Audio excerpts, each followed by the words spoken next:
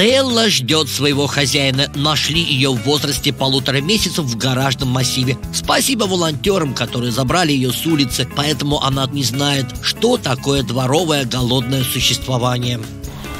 Телла очень умная собака. Даже, наверное, слишком иногда смотришь ей в глаза и думаешь, и что она тебе сейчас ответит.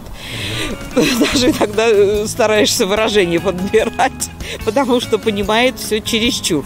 По характеру Телла спокойная, но немного недоверчивая к новым людям. Чтобы ее забрать, потребуется две-три встречи для знакомства. У Телла домашнее содержание, поэтому проблем с адаптацией в квартире не потребуется. Телла ждет своего хозяина. Звоните 8 927 686 0790.